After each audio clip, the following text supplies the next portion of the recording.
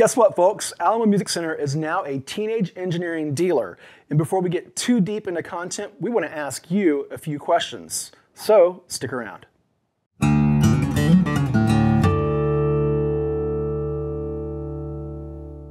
Hello, Internet. Chris Klein here with Alamo Music Center in San Antonio. And we are super, super stoked to be a teenage engineering dealer.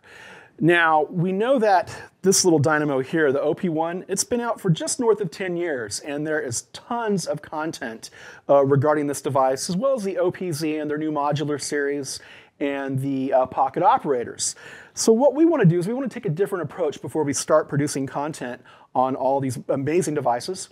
And we want to ask you, and we're going to start with the OP1 once we start creating our content, but we want to ask you, what do you want to know about the OP1? What do you feel like all these other great resources has missed?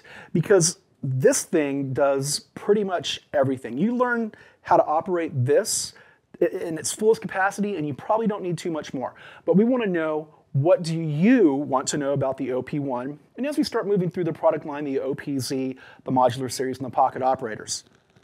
The things that I love about this already and I think I'm probably about 30 to 40% in, honestly, at this point, uh, is the, the, sequencing capabilities, the Tombola, which is basically a, like a physics uh, uh, enabled sequencer, if you will. Think of like a rock tumbler. You, enter notes into this thing called the Tombola, and it spins around, and depending on the mass that you have uh, dialed in, and the speed, um, it changes the way it functions. It's really, really cool.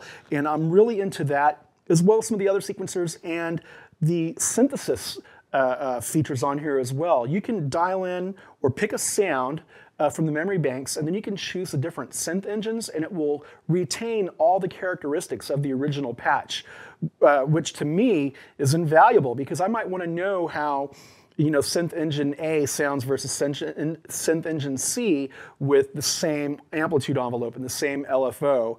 And one other feature that I really, really like is the LFO itself. You can, you can use the onboard mic as your LFO to modulate your sound or your line in or other, other things. The LFO is super, super deep uh, on the OP1. Um, so that's kind of where we are now. What do you want to know about this device? Is there anything that you want to see a deep dive on? Because we're going to bring that content to you and pretty quickly. Um, so I'm going to end this right now. This is a short one. We want to hear your feedback big time down below. Fill in those comments, right? We know, we know that there's a ton of content out there already for this. We want to hear what kind of content you're looking for. So if you haven't subscribed to us already, please do so.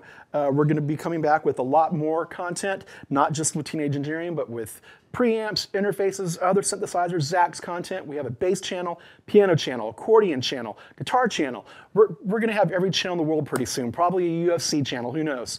Uh, but let us know what you want to know about this. We are really interested in, in creating content that's more tailored for you. And uh, that's it for this one. Be kind to each other. Keep on creating. Subscribe, comments. Alamo Music Center in San Antonio. I'm Chris Klein. Until next time, we will see you again. Bye bye.